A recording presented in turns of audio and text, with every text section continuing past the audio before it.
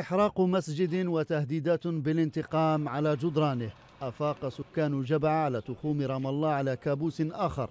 الهجوم يتزامن مع الذكرى الحادية والعشرين لمجزرة الحرم الإبراهيمي بالخليل والتي راح ضحيتها 29 مصليا. تقول السلطة الفلسطينية أن الهجوم يساهم في تكريس مفهوم الحرب الدينية ويعكس ارتفاع درجة التطرف العنيف في المجتمع الإسرائيلي. الهجوم يدخل في خانة ما يسميه المستوطنون الإسرائيليون بسياسة دفع الثمن التي تقوم على مهاجمة أهداف فلسطينية تكتسي رمزية بالغة كدور العبادة والمقابر والمزارع.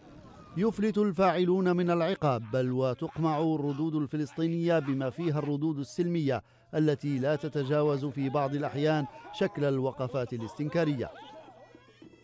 تطرف وعنصرية يجابهها الفلسطينيون بمفردهم. إذن في المقابل آلة عسكرية تدعمها جماعة يهودية متشددة. هذا في الداخل. أما في الخارج فآلة دعائية ضخمة تعمل على أكثر من مستوى في الإعلام والقضاء وفي السياسة والثقافة وفي الدبلوماسية والاقتصاد. والمحصلة تغذية إحساس أن الإسرائيلي عادة ما يجد نفسه في موقف المدافع بينما في الضفة الأخرى هجوم كاسح من جماعة متطرفة. ورغم ذلك تصل أصوات الفلسطينيين إلى العالم بطرق أخرى وإن كان الثمن باهظا في معظم الحالات.